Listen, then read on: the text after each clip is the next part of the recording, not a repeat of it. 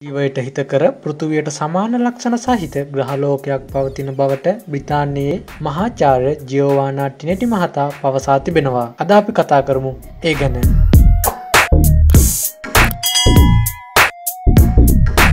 K2-18B ලෙස හඳුන්වන මෙම ග්‍රහලෝකය තුළ ජීවින් සිටීමට සුදුසු පරිසරයක් පවතින බවට විද්‍යාඥීන් විසින් පවසා සිටිනවා. මෙය තහවුරු කරගැනීමට වසර දහයක් පමණ ගතවන බවටද එම විද්‍යාඥවරුන් පවසා තිබෙනවා. පෘතුවයේ සිට ආලෝක වර්ෂ එකසිය එකොළහක දුරින් පිහිටි මෙම ග්‍රහලෝකය කුඩා තාරකාවක් වටා භ්‍රමණය වන බවට සඳහන් වනවා. මෙම ග්‍රහලෝකයේ උෂ්ණත්වයද පෘතුවයේ උෂ්ණත්වයට තරමක සමාන බවක් ගන්නා බවයි නේච ඇස්ට්‍රනෝමි සංග්‍රාව වාර්තා කළේ. මෙම ග්‍රහලෝකයේ ප්‍රමාණය පෘතුවිය ප්‍රමාණයමෙන් දෙගුණයක් වන අතර ඒ ස්කන්දය පෘතුවේ ස්කන්දයමෙන් අටගුණයක් වනවා. තවද මෙලෙස මෙතරම් පෘතුවයට සමාන ලක්ෂණ සහිත ග්‍රහලෝකයක් සොයාගත් ප්‍රථම අවස්ථාවද මේ වනවා. දියරමය ජලය සියයට පණහක් පමණ දරා සිටින මෙම ග්‍රහලෝකයේ උෂ්ණත්වය සෙල්සියස් අංසක බිඳුවත් හතලිහත් අතර වනවා. ඉතිරි සියයට පණහක කොටස ගොඩබිම් වන අතර එම ප්‍රමාණය පෘතුවේ ගොඩබිම් ප්‍රමාණයමෙන් දෙගුණයක් වනවා. විද්‍යාඥයන් පවසන ආකාරයට මෙම ග්‍රහලෝකයේ වසරක් ගත ගතවීමට පෘතුවි දිනවලින් ගතවන්නේ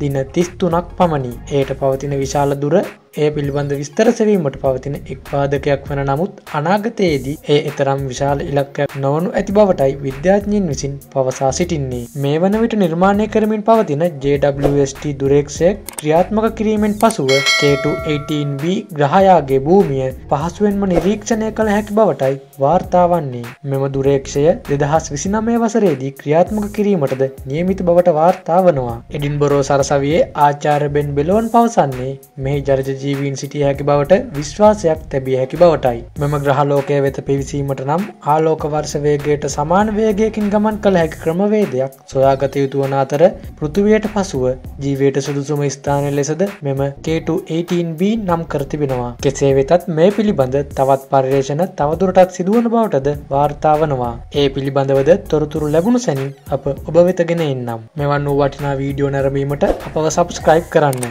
එහෙනම් මෙවන් වූ තවත් වටිනා වීඩියෝවකින් හම්බවෙමු. එතෙක් ඔබට සුබ දවසක්.